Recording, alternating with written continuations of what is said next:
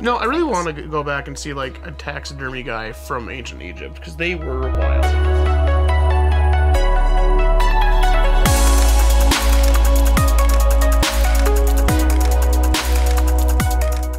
Welcome to Stuff Lab. I'm Gwen, And I'm Marty. and today we're trying best email of the week. I put together random facts about random things and send them to my old bosses.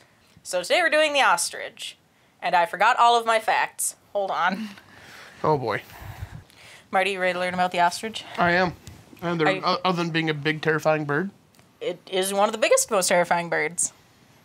So here's the inside of an ostrich's mouth. So they don't have teeth. What's that green thing? I don't. Is it veggies? Yeah, all they Yeah. eat vegetables. Guess how tall they can be. Seven feet tall. They can get up to nine feet and weigh 320 pounds, and most of their height is leg. A majority of their height is leg. That's too big. I mean, that's pretty big. It's like the biggest bird. I would, wouldn't want to fight it. You probably wouldn't want to. I, they will kick the boogers out of you. Yeah, yeah. Like, legit. What's the one that the Australians were in a war with, or are What- still that in a war with? Uh, that was the emu war. yeah, so, that was bad. they have three pound eggs. Oh god. So there's an ostrich egg, chicken egg, a rhea egg, and an emu egg. Three pounds. Three pounds of egg. Isn't that crazy? That'd be a really good omelet. So all of the hens will lay mhm. their eggs in one nest, and then the dominant one, the dominant female, puts her egg in the very center mm-hmm. and lays on them. But all of the other emus can tell, or I'm sorry, all the other ostriches can tell which egg is theirs. Huh. So they know which chick is theirs. Crazy. Isn't that weird? It's like just piling your babies at daycare. like that's literally what it is. So, that's what is I is wanted. this picture of, of all the so the one of the center is gonna be the dominant the dominant lady. Yep. Hmm. Not wild. Like there's I just still can't believe they can pick out which chick is theirs even out of an egg. I forget Dorian's my cat. well, I mean, you know, maternal stuff and things. Uh yeah. I'm not maternal at all. Nope. the day you lay an egg is the day we're going to talk. Some countries in Africa have ostrich races. There's special saddles and reins for an ostrich. What? So I tried to find just a saddle to see what it looked like. I could not find just a picture of a saddle. I kept finding saddles made out of ostrich because you can use their skin just like leather. I Isn't guess. that yeah. crazy? Doesn't Canterbury Park have ostrich races? Uh, I think so. I don't know. Yeah. I've never been there. I think they do. I don't know if people ride them or not. I would assume they would. I have no idea. So, much like a camel, mm-hmm. they can also go several days without drinking water.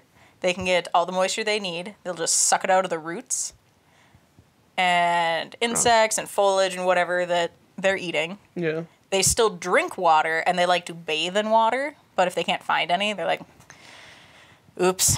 Like these guys here bathing. Yep. Now, I saw this picture and I was like, man, these would be some dope submarines. Now, Could you you- imagine kicking the snot out of a different submarine or just going to a battleship and just be like, yeah!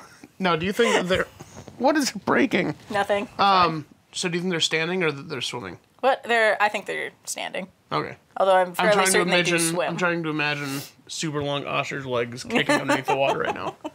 So in ancient Egypt, the ostrich feather, feather was linked to the goddess. It's M A apostrophe A T. It's either Ma'at or Mat.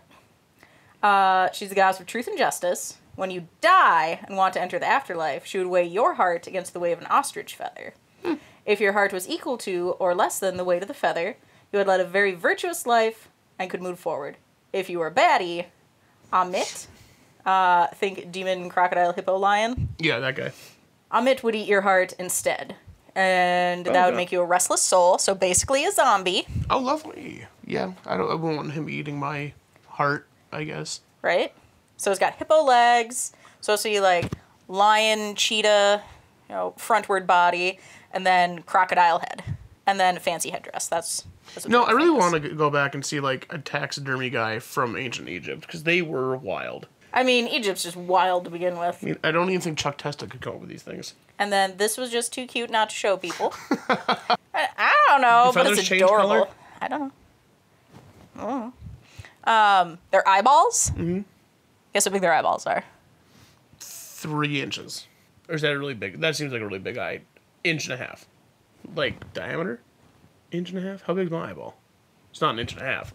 They're almost five centimeters, or almost two inches across, or about 2.6998 e minus five nautical miles.